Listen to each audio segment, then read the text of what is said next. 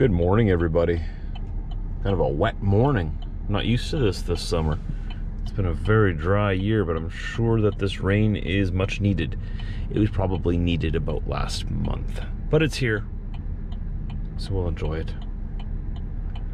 I'm about to head around the corner here and head into work. I'm uh, much earlier than usual. I have two loads of those poles to deliver today with the picker truck with the claw. So it might turn out to be a little bit of a longer day, but uh, we're gonna get her done. We'll be the first one in, and we'll see what time we get done. So on Google, like I still have to confirm this, but on Google, anyways, Starbucks in town here only opens at 8 o'clock today for some reason. Maybe that's a mistake. I'm not gonna risk wasting my time running all the way over there. We're just going to Timmy's. Since we're uh, so much earlier today, it's not nearly as busy. And you see this whole intersection is always all blocked by the people going to Tim's. And if we get here at this time, only one person in line in front of us. Today is gonna be a good day. I guess I'm a creature of convenience. One second.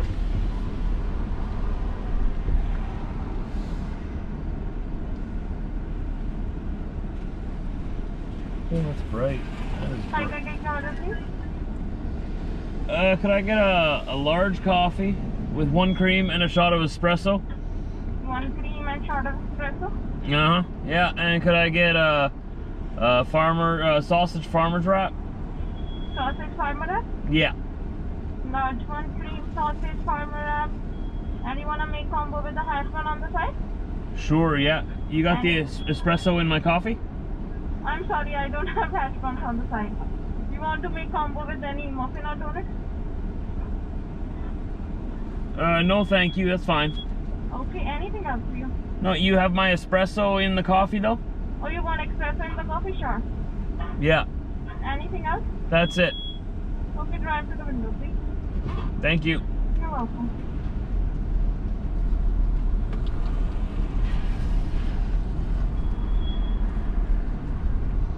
You heard me ask for espresso three times, right? I'm not just losing my mind this morning. And they were short with me and kind of rude at the window, too. That's why I go to Starbucks now. That's exactly why. That and the long lineups. But, you know, like I was telling you before we uh, ordered there, I'm a creature of convenience. Today it was just more convenient to go to Tim's because Starbucks apparently isn't open till 8. I still have to double check that. That might just be an error on Google because every other day they open earlier. But on Thursdays, I don't know what's going on anymore. I got my coffee, I got my food. Let's go get in the truck and uh, go deliver some poles. Okay, I gotta look for my trailer first. I wanna see what we're working with today. It's supposed to be in the yard somewhere. Again, I'm in the empty empty lot looking for a loaded trailer. Let's go over to the loaded lineup to find our loaded trailer.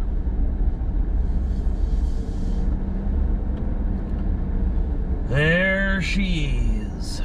Left her tied down for me. That's nice. So all we got to do is hook on and go. Right on. Let's go get the truck.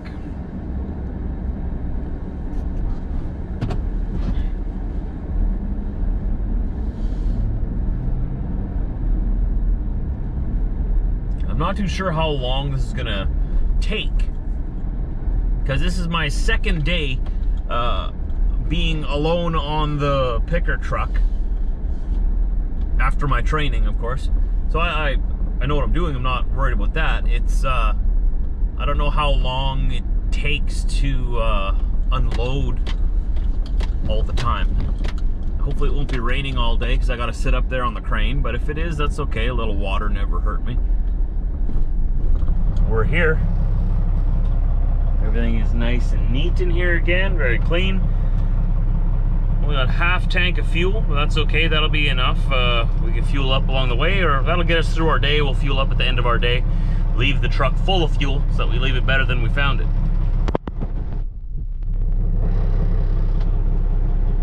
There's my gauge cluster. This is an older truck. This is definitely an older truck. But she runs good, she's powerful, and she's a lot of fun to drive. Actually, this truck's not as old as I thought it was. This is a 2005. Huh. I had to double check on the cab card here. Figure I uh, may as well find out. I thought it was like mid to late 80s, just judging by the front end style of the truck. But no, no, it's just heavy duty 2005 Kenworth, and uh, it's got a 20,000 pound front axle. It's got the crane on it, obviously. Uh, like I said last time we used this truck, this truck means business. It's built to work and work hard. So, with that being said, let's put it to work. Let's get out there. First order of business slam the seat down and slam it back. There we go. Much more comfortable. I don't know who can sit with their head touching the roof. That's just not comfortable to me.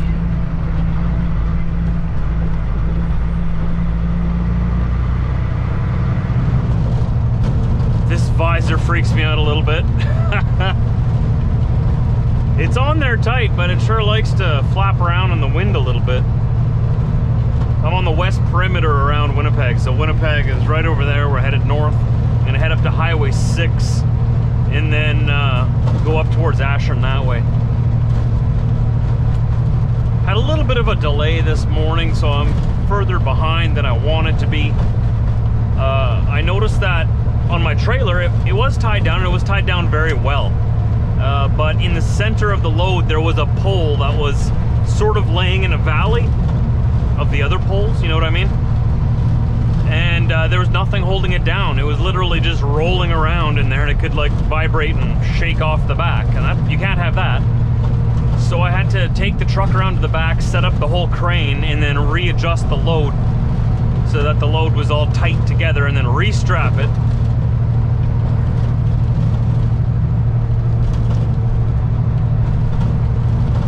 and then head out. So we're uh, a little bit further behind, quite a bit further behind than I wanted to be. But hopefully we can get everything done. If Ashern goes like really well according to plan and everything is uh, no delays, we shouldn't have a problem. I just have to be back in Winnipeg to load my second load of poles, like around 2 to 2.30, that would be nice, because they go home at 3.30 and they won't be very happy if they have to work overtime and wait for me. Oh, it wasn't my fault, but, you know, stuff happens. Oh, this is Highway 6 coming up here.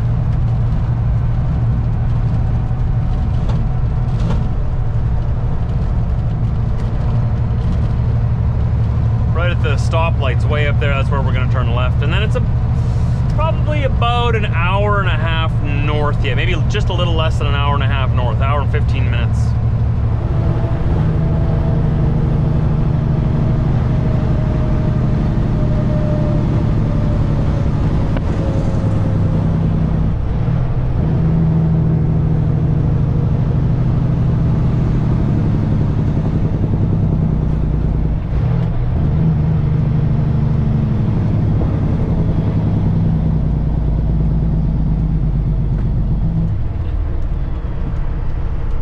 There's a big kitty cat underneath this hood. Big Caterpillar motor in there. I believe it's C15 twin turbo. It uh, it's a beast. It's a beautiful beast.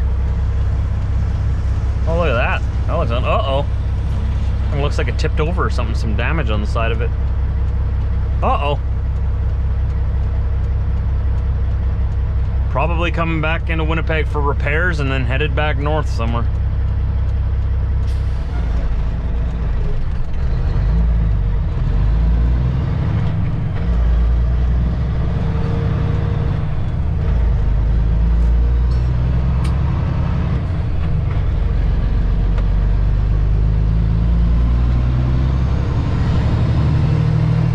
doesn't look that big, but it's pretty heavy.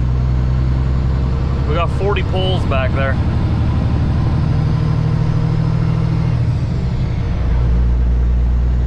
Can definitely tell that there's something back there. Even on a tough truck like this. She's not struggling, but she definitely knows we're pulling something. So just around this corner up here is where we got to bring this first load of poles.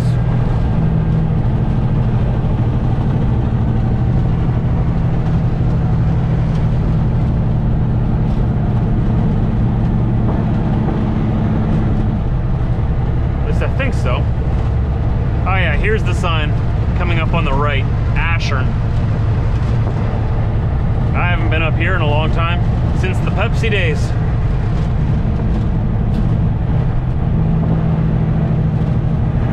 Hopefully it'll be pretty clear where I gotta turn into.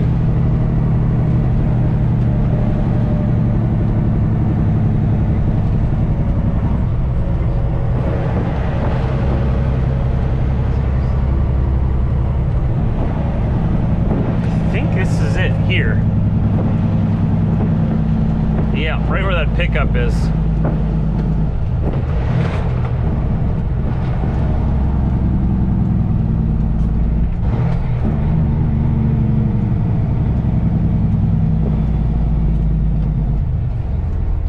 Right here. There's the poles and the piles of poles.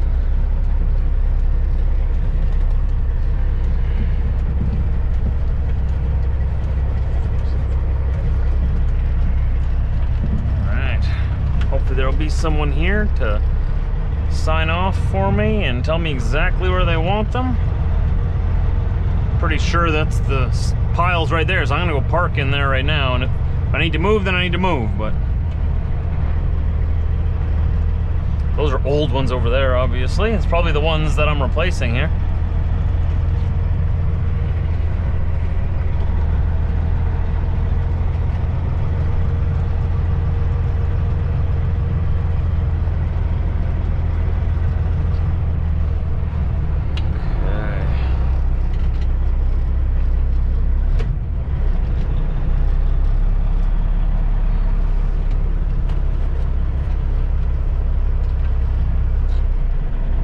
Might need to shift a little over because I think I'm dropping them in that pile over there.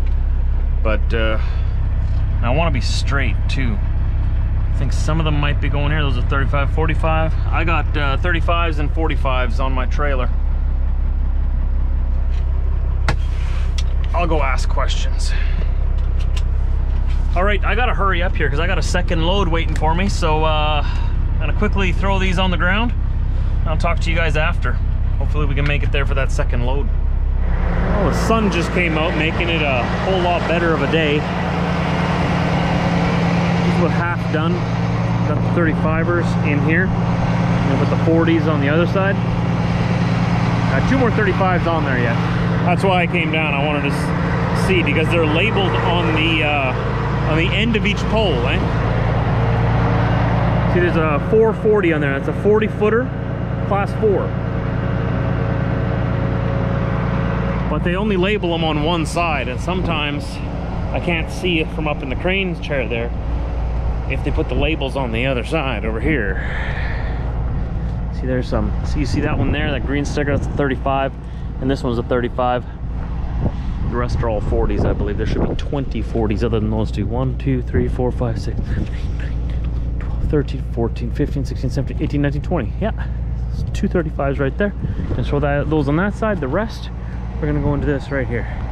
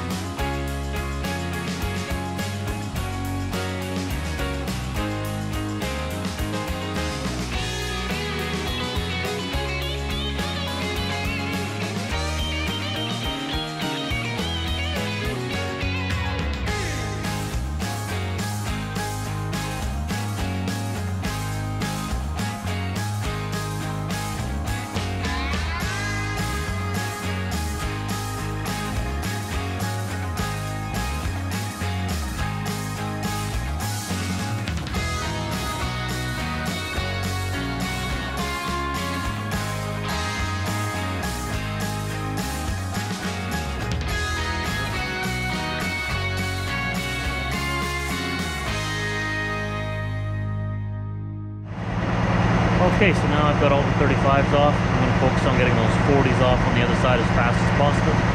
And then those old poles that we saw when we rolled in here, I gotta load those up when I'm done. Take them back to Winnipeg. They're uh, dispose of, disposable, disposable. They're they're throwaway poles. They're bad poles. We gotta bring them back. They're bad. Like usual, plans changed. Spent the whole day in Ashern. Unloaded my poles and look, had to load up all those, uh, a load of those old poles. And we didn't know about that, so the second part of my day kind of got messed up. We're gonna have to do that tomorrow, I guess, because uh, Ashern kind of hogged me to themselves all day today.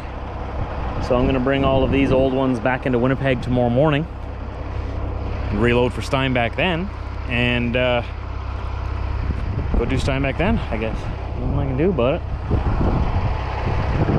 They didn't tell us that we had a bunch of returns going back, but needs to be done. It needs to be done, so it shall be done.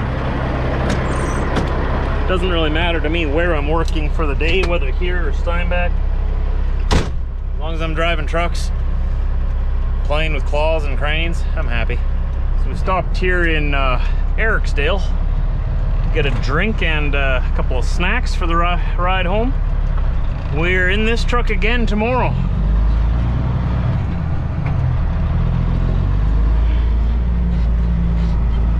Two loads to deliver tomorrow again. Hopefully uh, those two go smoother than this one did. I had two today as well, but the first one took the whole day.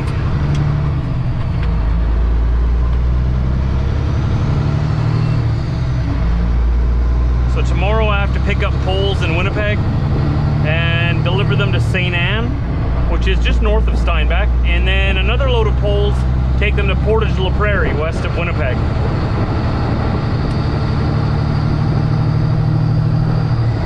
We're gonna get a good and early start. Make sure that we get everything done.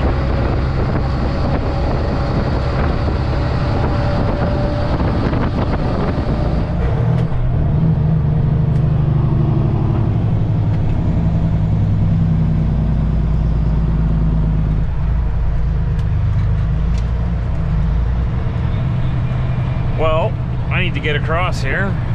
Nobody is uh, gonna let me in. Okay, I get it. I'm a truck. You don't like trucks. All right, since this truck was not left uh, full of fuel, I've got to go fuel it up today. Used over a quarter tank. This thing is a pig. I'm gonna be using this truck again tomorrow, so, well, even if I wasn't using it again, I always bring the truck I used back full of fuel. I thought that was a general rule, but this truck was left with under half a tank. And I didn't realize, like I was told that this truck is a pig, but I didn't realize how big of a pig it was.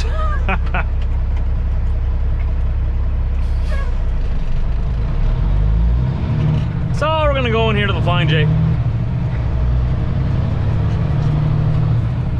grab ourselves some go-go juice. Someone's got to fuel it up. May as well be me, right?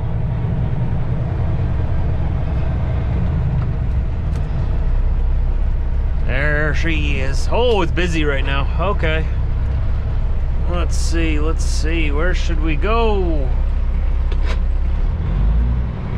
Lineups. Hope people aren't just parking in the pumps. That's always fun. Waiting for people who just, you know, go inside and grab lunch. Why's this guy got his backup lights on?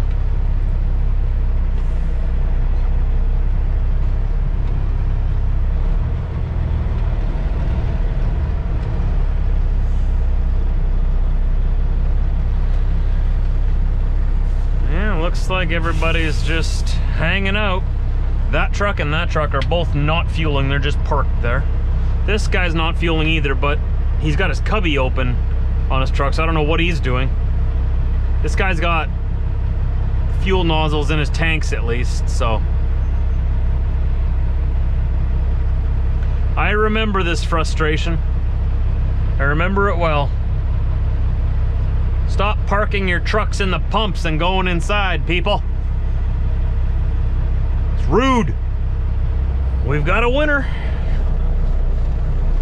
This guy was doing absolutely nothing. He was uh, washing his truck with the squeegee. Not his windshield, no, not his side window, not any windows. He was washing his truck with the squeegee.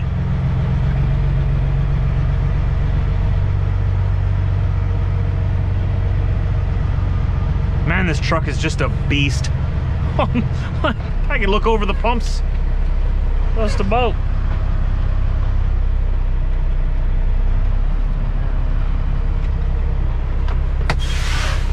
All right, I'll talk to you guys a little later.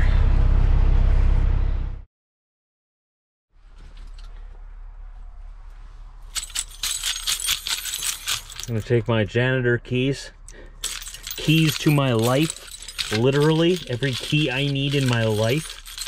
And I have them all on this little hook here, so whenever I drive my pickup, I can just take my pickup key off, and so that my all these keys aren't hanging in my ignition. And when the same thing with the motorcycle and everywhere I go. and then we'll get my pickup. Gonna leave the this truck's 3106 parked right here, hooked up because I'm gonna deliver those poles into Winnipeg tomorrow. So we're just here in the uh, back of the loaded lineup. There's the empty lineup. And my truck is just on the other side of that building over there. I'm gonna go get it, drive it over here, and get my stuff out of that truck. I'll take it all out and clean it out just in case if plans change and they get me doing something else tomorrow, then someone else doesn't get in there and take off with my stuff.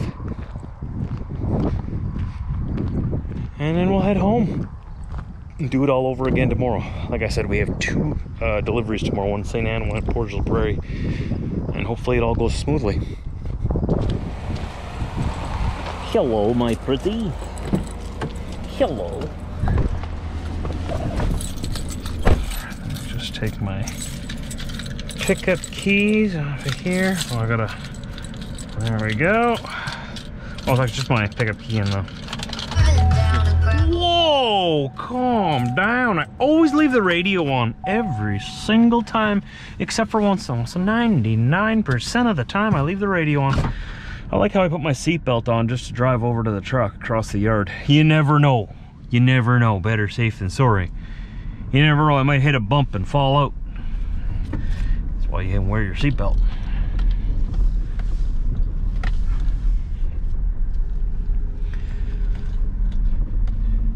You guys remember my old Volvo? It's right there. Remember I put that uh, bug deflector on it? It's now a local or regional truck. The guy who drives it now is a really good guy. We spent, what, three years in that truck? Lots and lots of memories. Went to British Columbia in that truck, went to Newfoundland in that truck. All over the the US in that truck.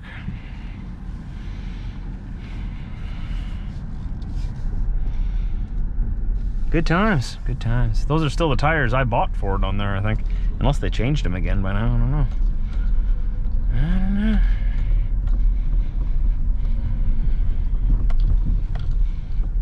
Alright.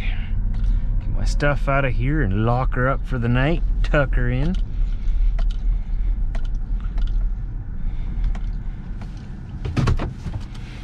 That'll be that. It's nice evening. It's the perfect, perfect temperature out here right now. Absolutely perfect. Hello, my other friend. I got my sweater. I actually had to wear this today. It was a little chilly up on the crane in the morning when I got out there, but then it heated up pretty quick. Mm-hmm. Come back for you one second, one second. I like the crane work. It's I actually really enjoy it. A lot of fun. Of course, it's something different. I'm the kind of guy that uh, I like to be challenged. I like to have new things I like to try new things, do new things. I want to do more things. I like all the things I do already, like the roll tights, that was something new. Uh, I remember when I started on flatbeds, that was something new. When I first started here in 2011, right here, these van trailers, some of these were the very first ones I ever pulled. 53 foot van trailers. I mean, I, I did haul Pepsi before that, but long distance. That was the, these are the first trailers I pulled. And now look at us. Now we're driving a crane truck, hauling these bad boys around. And we just keep moving along, just keep moving along. All right. Oh, this is my garbage too. Oh, and that's my hand sanitizer over there. One second. Well, really, you can come with me too, my friend.